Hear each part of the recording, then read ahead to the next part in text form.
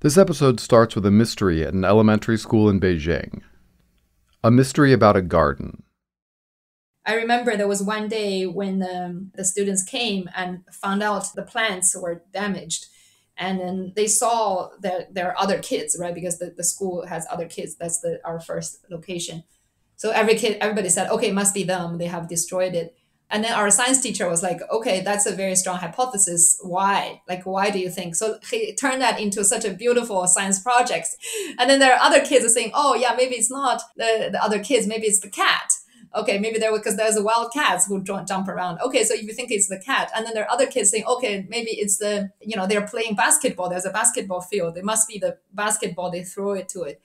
So what the teacher ended up doing is that oh, I said, okay, let's figure out this hypothesis, right? So like, you know, if it's a basketball, let's try it. If you hit the plant with different balls, what the plant looks like. Then they actually did experiment.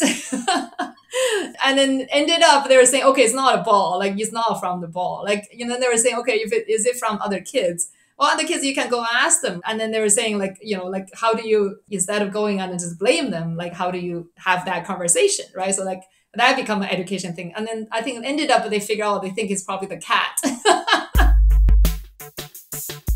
this is High Tech High Unboxed. I'm Alec Patton, and you just heard the voice of Yinuo Li, co-founder of ETU School in Beijing.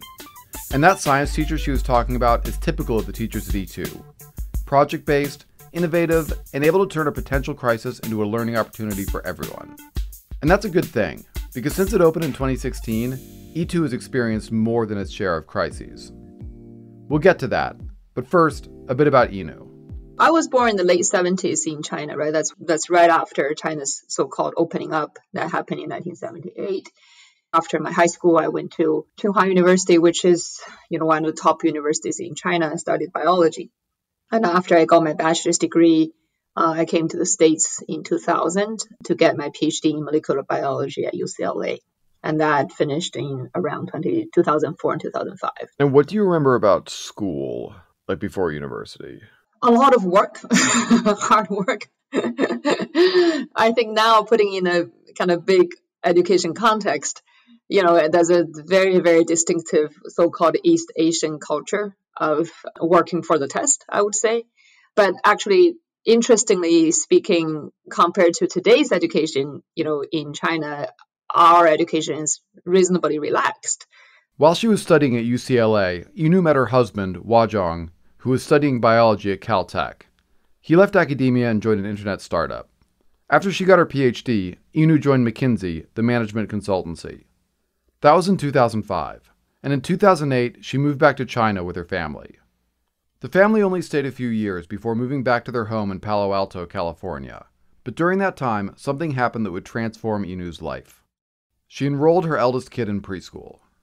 I think when he was two, two-ish, I was looking for a preschool, and that was this interesting preschool called um, Little Oak Tree.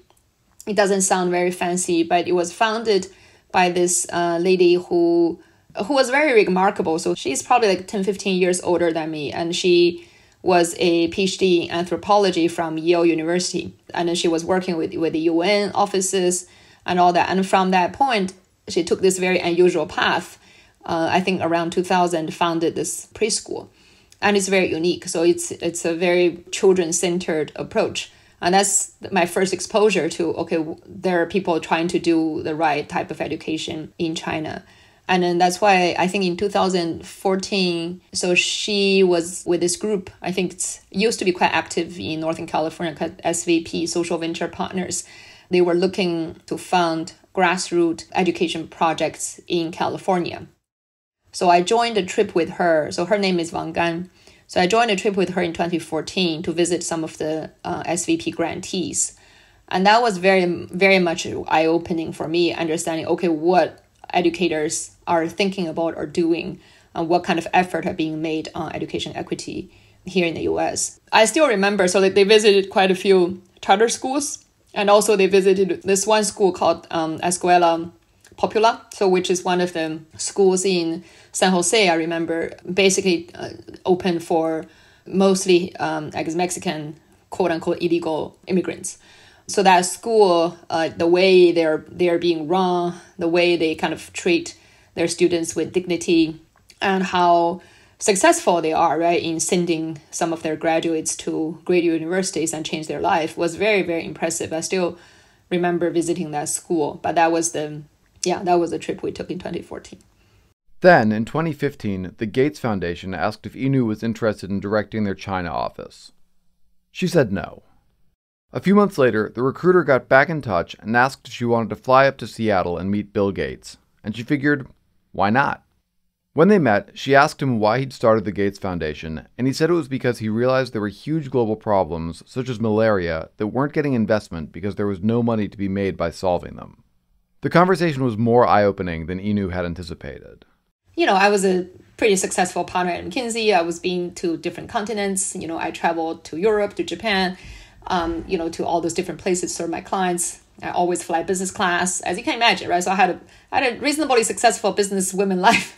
I was pretty arrogant. I thought I, I was, I was like I've seen the world, right? I've I've seen it, but I realized okay, what I've seen in the sort of McKinsey world was very much a I would say a upper middle class world, right? So that's the where most of our clients are functioning in this you know market economy that functions in developed country and what he described is a world I sort of know exist, but I, I didn't know it's so massive and i also didn't know there was organizations trying to to do things about it. And of course it's also connected with my research roots like you know like uh, my background from academic training. So yeah i think that conversation would really played a role in in thinking this very differently.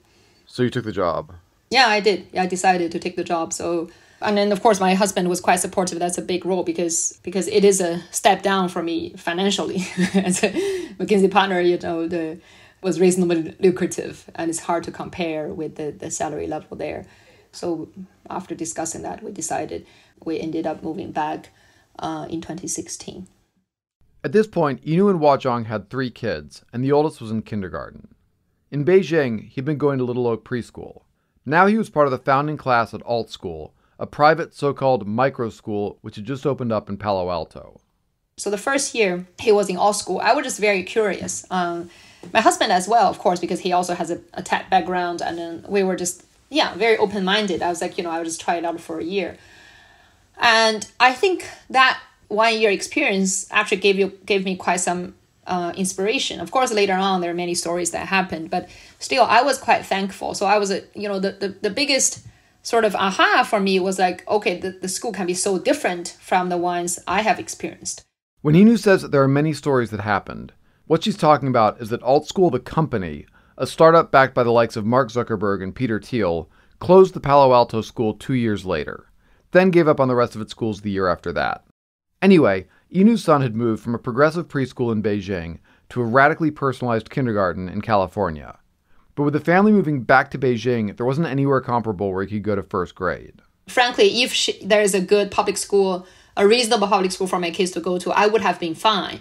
But I realized that's not the case because uh, public school is becoming so stressful and anxiety driven. And then there is this quote unquote area of private schools.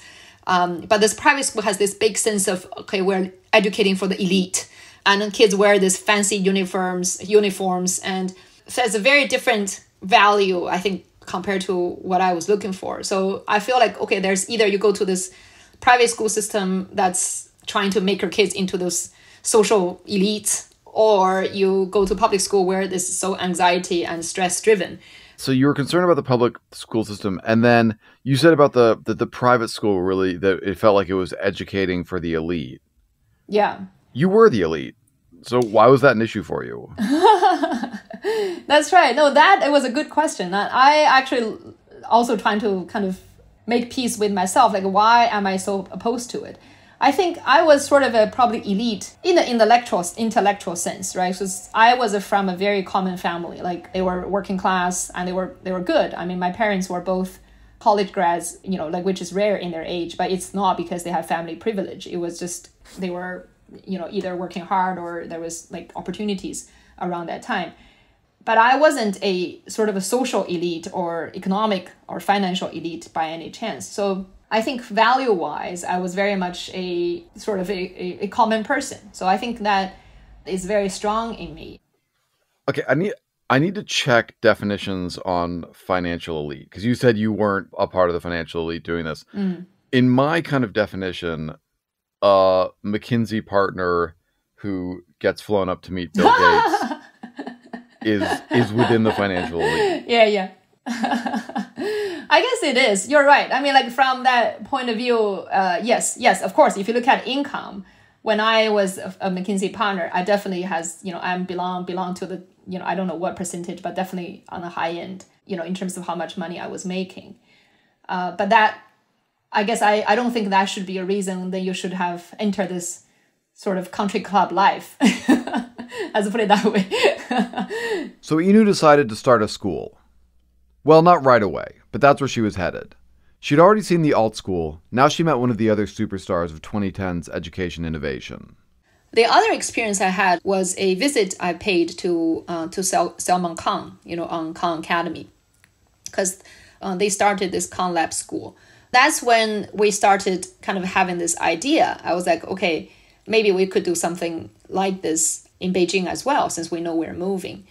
And the first person I talked to was actually Wang Gan, you know, the, the one that runs the Little Oak uh, preschool, because you know she she's been thinking about this area for way longer than I did, right? So she's really paying attention to all these things.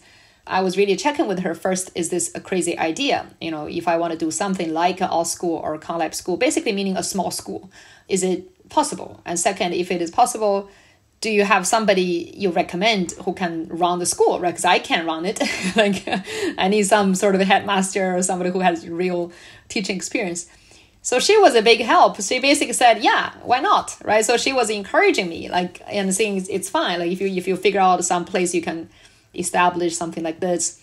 And she connected us with Xiao Yue. So Xiao Yue was still today she's our uh, headmaster and we chatted on the phone i remember. And somehow we had this confidence yeah we can do this. And so you're very early on in your new job at the gates foundation. Yeah. And you're talking about founding a school. Right. Were you going to do that in your spare time? What was the it might be naive now but we felt it's easy. And you know because I, I, I look at what you know Alt School is what Khan Lab school was it's pretty simple to me, at least around that time, which is really naive. I was like, okay, three rooms, right? Five teachers. That's not bad. that was really the sense of naivety. And of course, my, my husband, you know, can, can, can do this full time. You know, it's not like I'm going to do it, but I was sort of the person thinking and waiting to write about it. You know, earlier we did an interview, hmm. people were asking us, you know, if you knew what it is, would you have started? I was like, no. I probably wouldn't have the courage knowing what it really takes. But around that time, I think this whole kind of micro school concept was deceptively simple. Well, and in, in COVID terms, you were basically thinking about starting a learning pod. Yeah, you can think about that that way. Yes. that actually weirdly makes more sense. It's true because around that time, I think the inspiration was okay. You know, I think it was really a, a big shock to me seeing how alt school and Khan Lab school was starting, and they around that time they got a lot of press. You probably know that, right? So it was, you know, there there there interviews everywhere for them, and then they are simple. And if you look at the setup, both physically and um, yeah, I think physically, you know, both in terms of hardware or real estate, it doesn't seem that difficult. And I had a sense of naivety. I was like, okay, you know, it's not hard for me to find three rooms in Beijing. It's such a big city. Like, of course, later on turned out it's really hard. but then I was simplifying the problem. I was like, okay, that's not bad, right? So like, you know, I'll take the first step and see, you know, where it goes from there. That's kind of how we started. so how much of this was just inspired by your own anxiety about not being able to find a good school for your kid in Beijing? Oh, yeah, that large part of it. There's one other thing I haven't mentioned about Yinuo. She was kind of internet famous, specifically WeChat famous. If you don't know WeChat, it's a Chinese messaging app that does basically everything.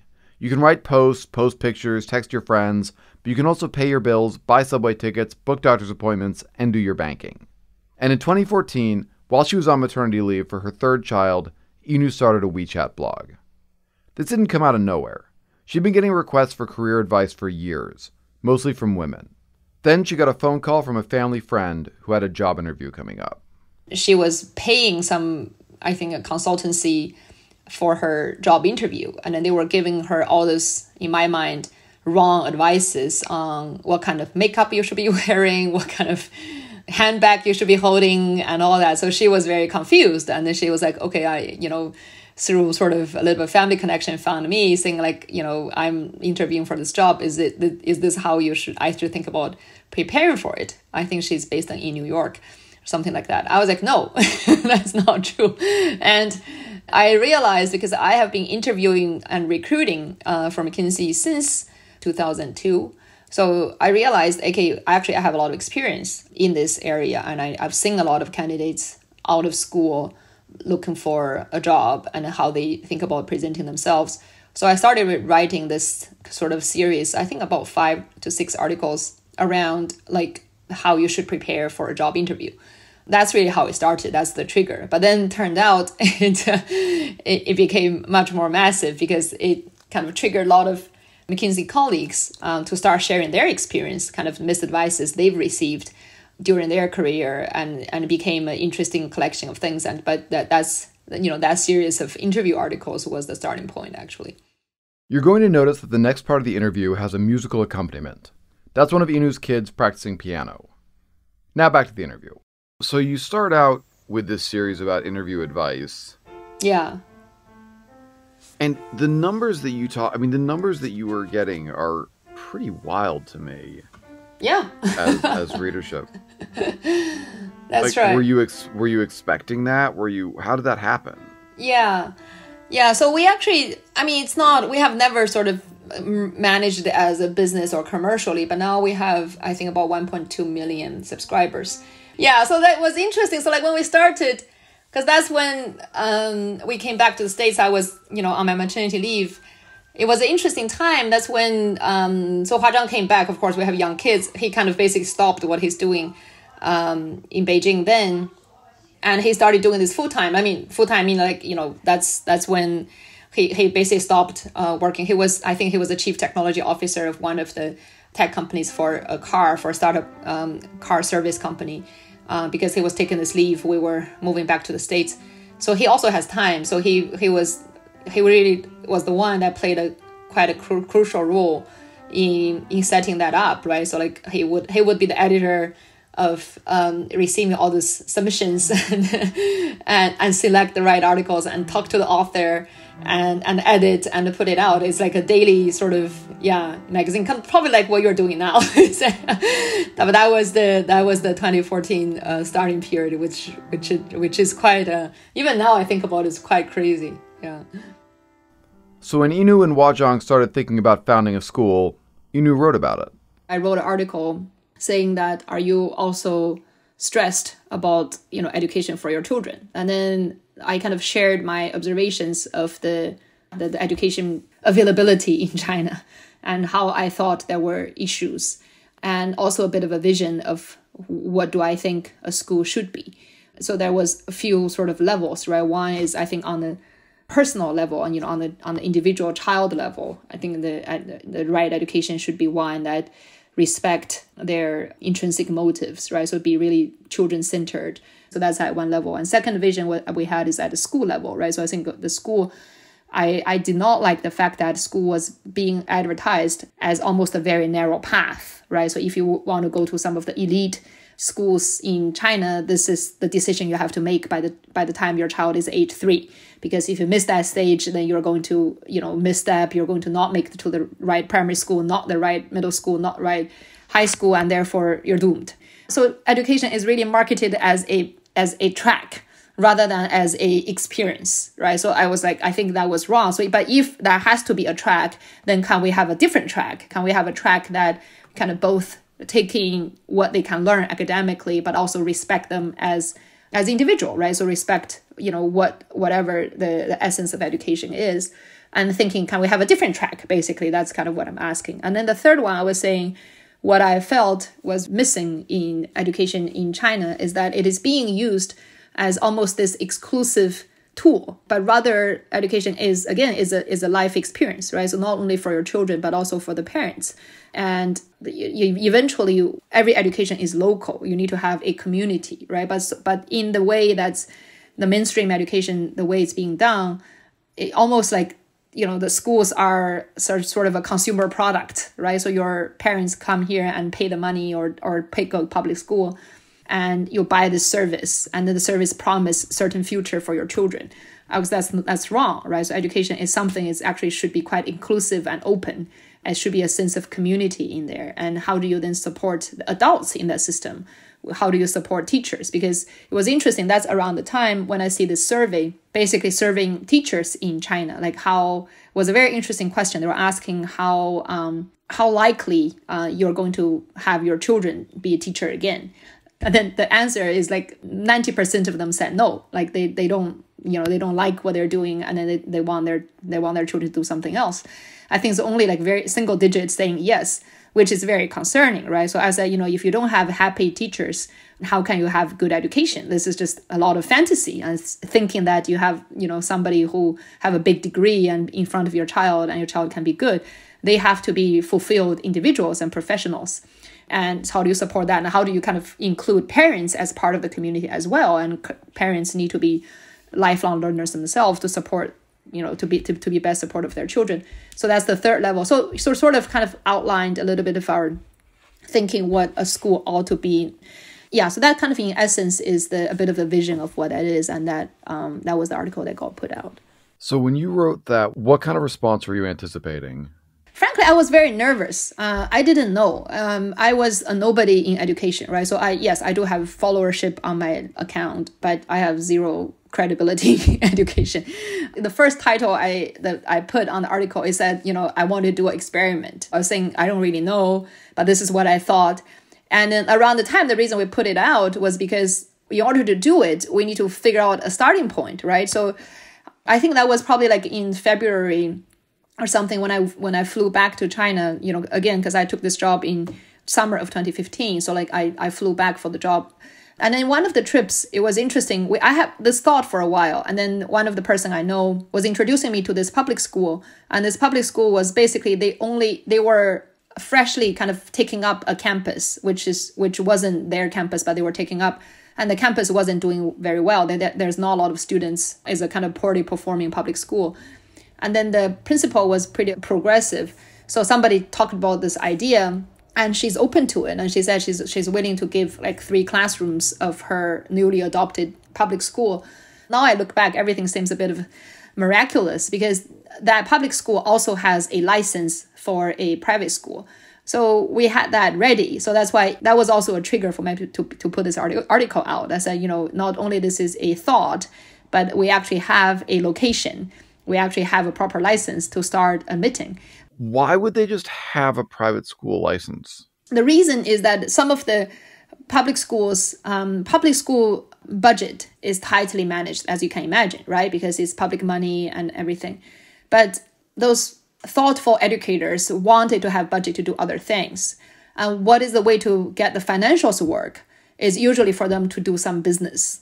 Okay. And business can be many things. It can be many forms. They could do training, and they're not really trying to make rich themselves but like usually the money from those businesses can come in and support some of the extra things the public school want to do so there was a period where public schools can have license for private arms like you could have an arm for private school um, that's kind of managed by you but because it's a private school you could charge a tuition you could have all kind of different financials and that financial can give you a bit of a leeway this kind of falls in your lap of like, oh, there's this school. Not only do they have three rooms you can use, yeah, but they have they already have the private school license. It was kind of magical, indeed. It just happened. Okay, that was a school who want to do something and have a license. Like, so like it was kind of godsend. So around the time, I was like, okay, wonderful. So I was I'm still very grateful. If that didn't exist, I would have never started.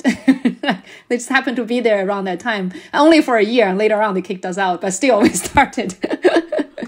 So where was the money coming from for you? I had yeah, because although I was at McKinsey and everything, right? So, but basically, because I wasn't like doing like investment or big equity, so it was it was really just our savings, and it's not enough to get started. So Haja and I, we had you know that's maybe I think that's when our account was three hundred thousand followers or whatever. So like there are people there, and we had this idea. We said we're going to start this online learning community. Okay, and this community I don't, frankly, I don't know what I'm going to teach you, but so because there are people who are following my writing, as this community, we're going to be, we call it lifelong learning community. Okay, I'm going to come up with something.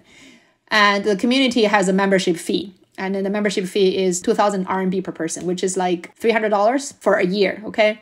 And that's when, just so you have the context, when this kind of concept is becoming very hot, right? people were saying, okay, they're they're learning stuff on apps, they're getting so like their their companies start doing these things in China, and we just have this followership which we have never sort of like sort of commercialized. So we said we're going to do that, and I was pretty straightforward. I said we're doing the school, and then the money is going to get us started for the school.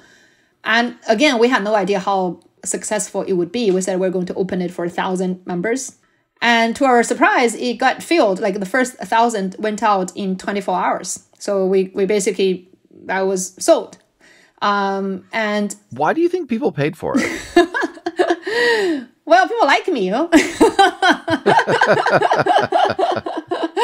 it was interesting. I think two, yeah, two reasons. One is, yes, I do around that time, you know, we have a followership for like close to two years there are people who really follow us and then you know like what I put out. Um, 70% of my followers are women. Okay, so those are career women who are, you know, who just find sort of resonance in what I write. And of course, I also talked about you know this this money is going to help us start a school. I think there are also people who okay, want to be inspired by the by the education concept and idea, wanted just to be part of it. And then it, you basically give them a reason to give you some money. And as I were I say, we're not raising the money, but we're just selling this product. That online community now has about 16,000 members who are chatting, taking part in forums, and attending online classes. But let's get back to that article Yinuo wrote about starting a school. Once my article came out, of course, it went viral. So, like in one day, we have 200,000 reads. People are all talking about it. Everybody reached out. So, towards the end of the article, I, we only left an email address. I said, you know, we're going to start. So, if you are interested in getting your kids into our school, this is how you, apply. If you're interested in becoming a teacher, this is the email. And like in two days, we got 800 emails. I, I still, I can't believe it. I got 800 emails. We get like hundreds of teachers applying to come here and then like hundreds of families wanted to go. So that's how we get started. Well they all hated their jobs. Exactly. So that's why when i say this is uh, something we want to put teachers and i still think was was pretty visionary you know even like looking back now. I said i want sort of a three concentric circle. I said that's what i thought that's what a good school should be. I said you know the children child is the and is, is at the center of the classroom and second is that I think teachers should be at the center of a school, right? Because if you don't have happy teachers, you don't have anything. And third, the, te- the school should be at the center of a community. I said only when you have this three center aligned, it's a good little ecosystem that can function.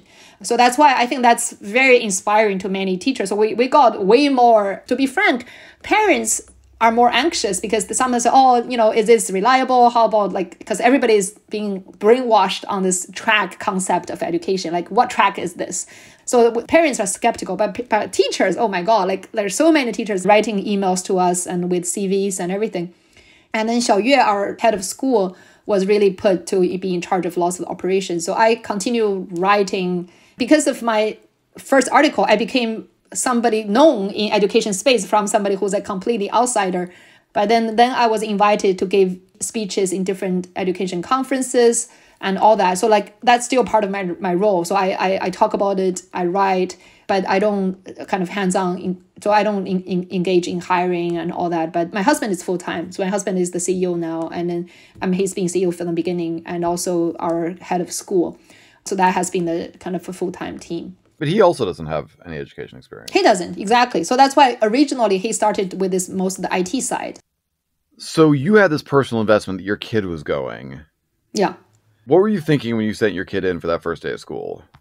Oh. I was so excited. You know, I, I I was very excited. I think it was yeah, sort of a dream come true type of thing. Because when we had this article was in March and school opened in September, right? So it was like 170 days. We counted. It's 170 days from the day we decided to do it until the school was opening. I was like, wow, like although you know you're doing it, you still don't believe it's it's coming true. Do you remember what that first day was like?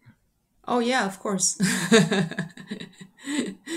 So usually in China, the first day of school is September 1st. And, you know, we didn't really have the permission to have any ceremony in the public school ground. So we were trying to be creative. So we actually went to the Forbidden City, which is the Palace Museum. And we just bought tickets. So we basically had the first sort of opening day ceremony there. So Forbidden City was basically the, the palace complex of the old emperors. It's now a, a touristy thing.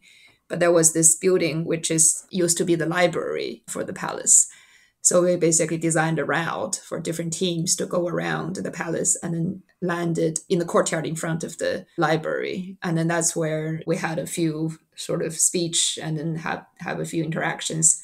And pretty short because again at the end of the day this is a public space. It's not a, you know we, we can't carve out any privacy for a private event. But nevertheless you know that's kind of the point of it is that how do you appreciate you know part of your surroundings and getting your experience as part of that uh, context so it was like a scavenger hunt the kids were doing what, what were they doing taking them around it's the equivalent of that, right? Yeah. So we had a little booklet that the teachers designed for the kids. Everybody has a, a little thing. They, they go, yeah, check different places.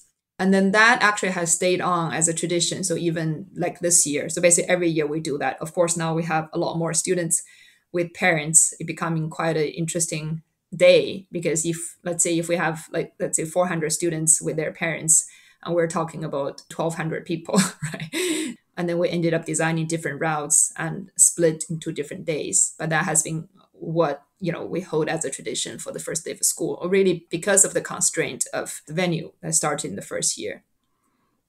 So every every year you start in the forbidden city yeah now we do this every year. Yeah and then but you know because it's so big right? This is sort of the biggest palace complex so there's no way you can do the whole thing. So we you know now it's like a half day event and usually the, the teachers would go like a couple times before just to map out what route we're going to take. Um, and different uh, grades then have different themes right? So for example for higher grade they can understand more and then their topic can be you know what is the water system like in the palace? Like you know because usually those are things you don't pay attention to when you just go there to visit and take pictures. So like things like that and also what are some of the doors like that will be theme around doors different type of doors and gates and why is it designed so? And also there are all kind of different things related to their life you know, because that, that that was built now it's like I think last year was 600 years of anniversary. So that was, you know, how do they do heating during winter because it's super cold in Beijing. So you sort of you present each grade with a mystery to solve. Indeed, yeah, that's a good way to say exactly. And this year was even more fun. We have parents kind of playing the, you know, they dress up as you know people from that time, and you know that would be a little quiz they will you know give to the students, and the students would actually have a a presentation sort of in front of them. And after they're back, it was integrated into our math class and Chinese class or language class as well, and saying they're going to make a small presentation of what happened, what did they see, and why is that. What was the significance of choosing the Forbidden City? Why did you want that to be your launch? It was interesting because it was in Beijing, right? And then, you know, if you ask, you know, what is the most famous landmark, you know, would be the Forbidden City but how much do you really know about it? Like I certainly didn't know much. so I think that was part of the inspiration. Like, can we choose something that's in the city? And you know you think you know but you really don't know. And use that as well i think that's one aspect of it. The other aspect of it is is is really picking somewhere public. And part of it is is kind of breaking down the school walls right? Is to have real life experience. So you know like we wanted to do something that's outside of the school and you can do something that's that's kind of connected to a, a meaningful a significant sort of landmark of the city. You know it was interesting in my in my sort of corporate life like you know when i was at mckinsey and all that. And i know there will be companies and corporates that rent uh, spaces in forbidden city for private events. And you know from my other side of my life i know that's true but you know you have to be, be able to pay. But then we were like you know we, we, we don't for the school but we can buy tickets, right? Tickets is pretty affordable. So that, that kind of part ex- excites us because usually people think about you have an event in the Forbidden City. That means you somehow is, you know, financially well equipped, right? People think that's kind of fancy. That's that, that type of event.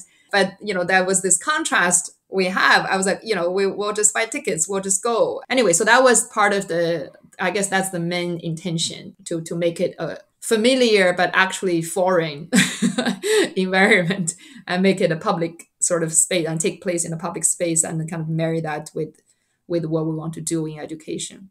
That's so cool. So you have this this really fun launch. You've got this powerful metaphor of taking something familiar and looking more deeply at it as just a pretty that's a pretty potent metaphor for education generally. Mm-hmm. And then you're rolling. You have, what did you say, 31 students the first year? Yeah. So you have, you have 31 students. You have these three classrooms. Everything's great. When did you find out you had to move? Yeah, I think we found out basically towards the end of the first year. And actually, it was pretty abrupt because they're saying that, you know, during the summer, you have to move out. Why was that? Why did you have to move?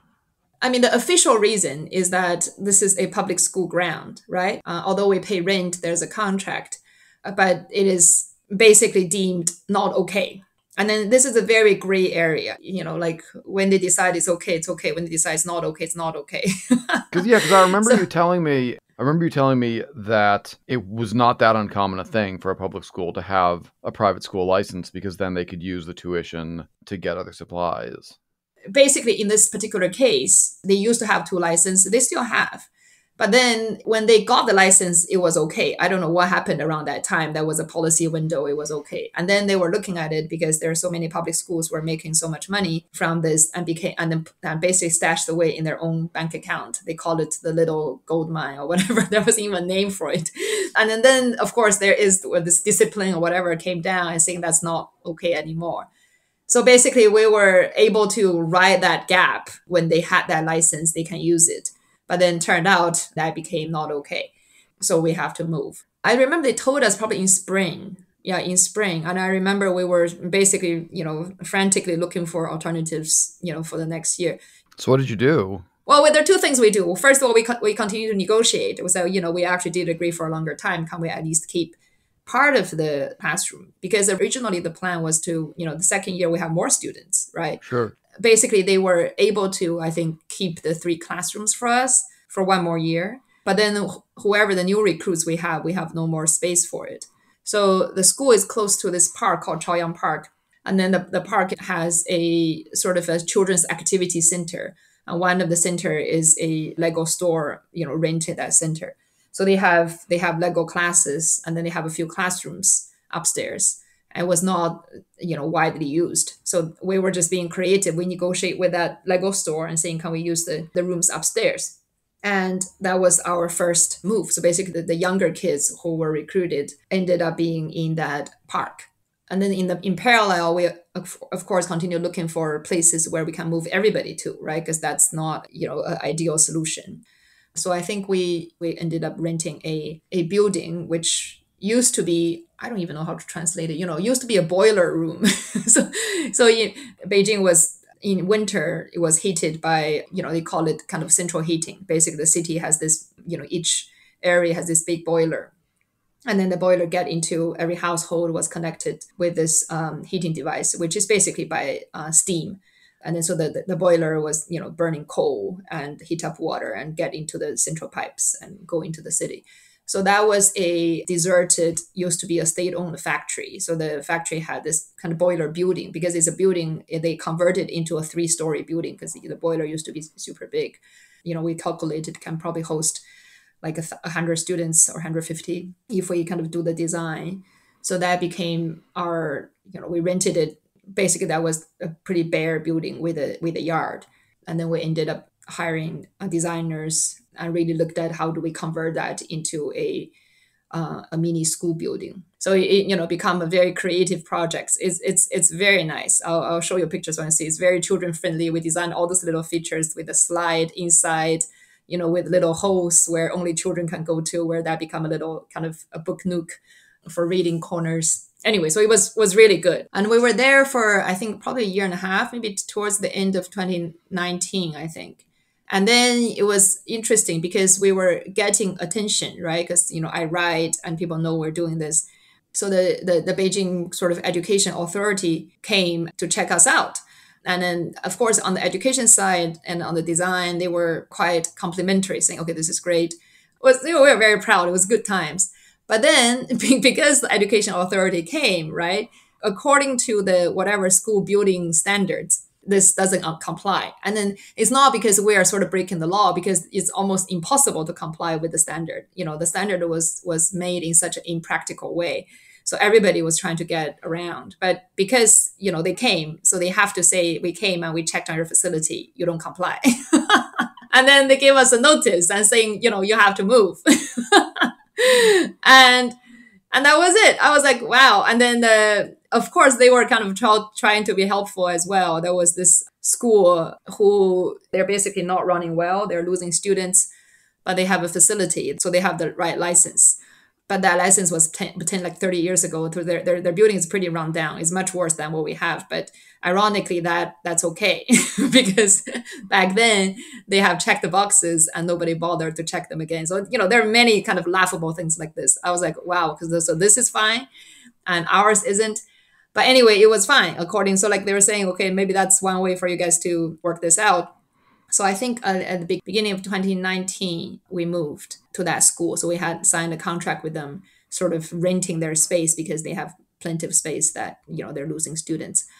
And then after that, because then they had so much debt, which we didn't know, right? Because the school has been losing money for a long time. And one of the condition is for us to help sustain their cost as well, meaning they have students, they have teachers, uh, so continue doing that. But ended up you know, because there's so much unrevealed that debt when they signed this with us, you know, we just realized, you know, there was a big, you know, a big scam. right. So I think in beginning beginning of 2020, yeah, last year, we started looking for another place, and then there was a another school they have moved, and then they have a space. So this is where ETU now, and then we we ended up, you know, kind of taking up the lease and do this all almost all over again, kind of renovating the school um, of course, we kind of make it you know as you're doing education we make every move a education opportunity. So like i remember every time we move to a new place we'll have a project you know like for two weeks for the kids to learn about the new place you know to draw a map of where this is what's inside the campus what's around us and then one of because we and we have to have like you know school buses because they're they're they're kids coming from from different places to our school. And then i think one of the projects for our, um, our middle schoolers this year or starting last year is how do you design a, a bus route right? So like you know that's actually a pretty complex complex math problem. Um, and how do you sort of make that you know knowing where the school is where different people live and um, how do you map out a route? So you know we're trying to do as much as we can kind of turning everything into a educational opportunity. I want to end with something Yinuo said to me about what's kept the school and kept her going despite all these setbacks. People see the infrastructure see the whatever curriculum but that's not what make good education happen. What make people ed- education happen is is a group of adults that kind of oscillate on the same frequency and that's how we survived all these moves. we could have easily died, like in any, I mean, like it's it's it's costly. Like we we're still not making money now. Like it's not like we're making money.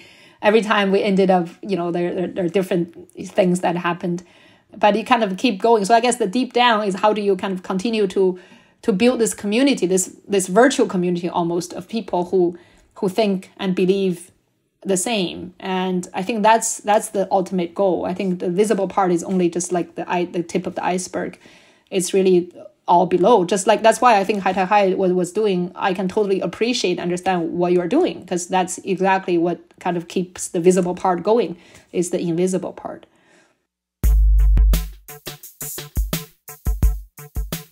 High Tech High Unboxed is hosted and edited by me, Alec Patton. Our theme music is by Brother Herschel. You can find photos from ETU School in the show notes. And let me tell you, there is a lot more to discuss about ETU. I haven't talked about the campus they opened in Guangzhou, a city in China that, according to Google Maps, is a 21 hour drive from Beijing and it's still going strong. I also didn't even mention the app they designed for the school, which teachers use to both design projects and write reflections every week. The school took some of the stories collected in that app and published a book. It won a national award. I mean, of course it did. Nothing about this story surprises me anymore. Huge thanks to Yinuo Li for telling me about it, and thanks to you for listening.